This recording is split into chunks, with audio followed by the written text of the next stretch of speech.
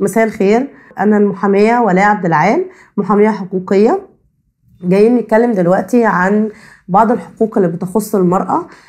من بين الحقوق ديت حق الحق في الزواج.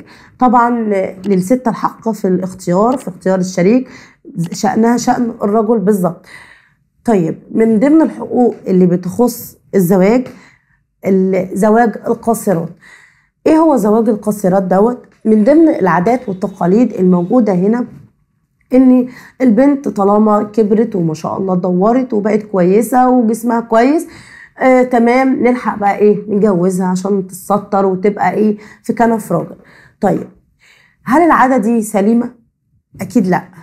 ليه لأ؟ لأن الست في الوقت ده قبل سن 18 سنة بيكون الأعضاء التناسلية ليها لم تكتمل.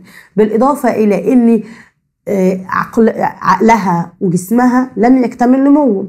طيب لما الس... لما البنت تتجوز في مرحلة لم تكتمل النمو سواء من الجهة الثقافية أو العقلية أو الجسمانية أو الجهاز التناسلي ليها لم يكتمل. هل البنت دي هتجيب ناس أو هتجيب أبناء سلام؟ احتمال كبير إنها تجيب أطفال مشوهين. بالإضافة إلى إن هي لا يعني عقلها لا, لا يستوعب الزواج. وبناء عليه فان الزواج أقل من 18 سنة يسبب العديد من المشاكل. طيب في إحصائية بتقول إن الزواج بدأ من من سن بدأ من سن 18 عام أو الأقل من 18 عام دوت يسبب العديد من المشاكل. أبسط المشاكل دي أو المشاكل الظاهرية اللي, بت... اللي إحنا بنتعرض ليها هي مشاكل إثبات النسب. نجد إن بعض الإحصائيات بتقول إن 16000 دعوة أسرية بتخص إثبات الزواج نفسه دي الم... يعني الأغلبية فيها بتكون للست للبنات القاصرات فيما أقل من 18 عام. طيب و14 دعوة إثبات نسب. طيب و16 و12 ألف دعوة بتقول نفقة. طيب دوت هل ده حق؟ طبعا إحنا أصلا الجريم ده يعتبر جريمة في حق في حق البنت. حق البنت إزاي؟ إن أنا دلوقتي لما بنت بتتجوز أقل من 18 سنة غير مؤهلة جسمانيا ولا عقليا أو نفسيا بالإضافة إلى إن الجهاز التناسلي المسؤول عن عملية الإنجاب أصلا غير مؤهل لكده.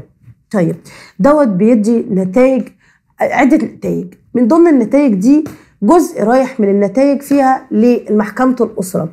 الجزء الآخر بيخص البنت إن هي ممكن تؤدي إلى أمراض زي أمراض السكر الضغط الدم ممكن تؤدي إلى الإجهاض ممكن تؤدي إلى إحداث جنين مشوه.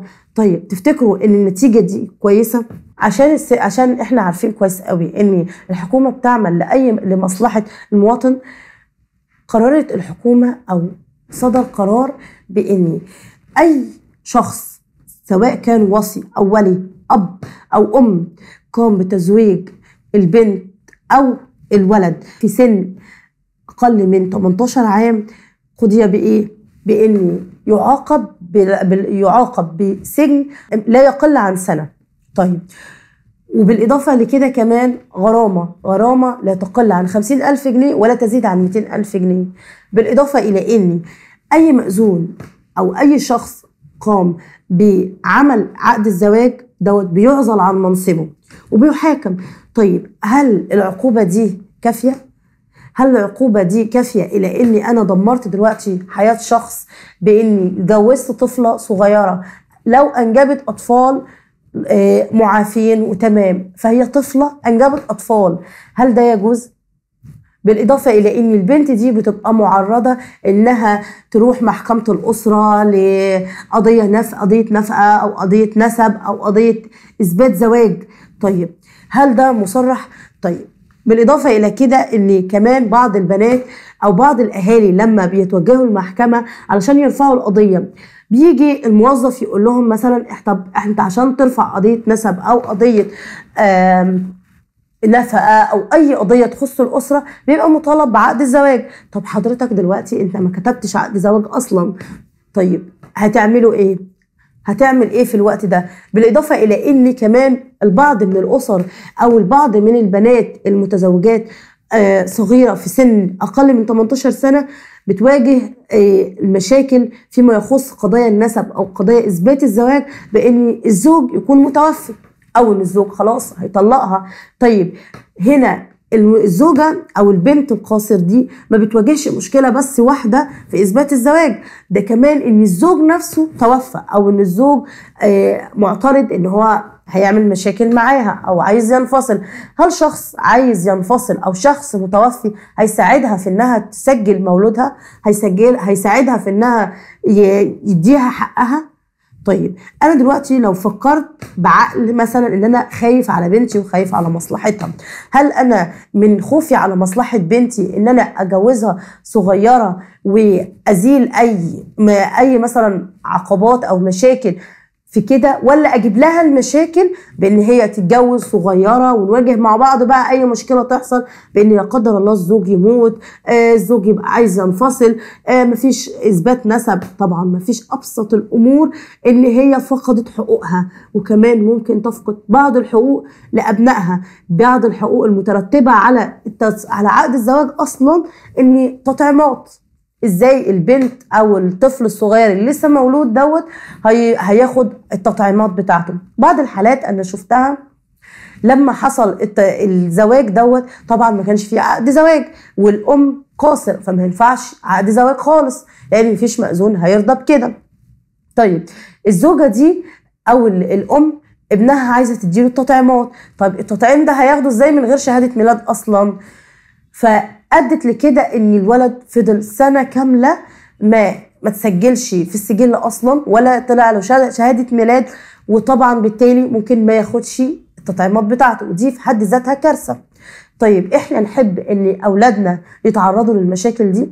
إحنا أولادنا لو أصيبوا لا قدر الله ببرد أو أي مرض بسيط إحنا بنبقى تعبانين ونفسيتنا تعبانة عليهم ممكن إن إحنا نعيط جنبهم كمان. طب إحنا نحب كده؟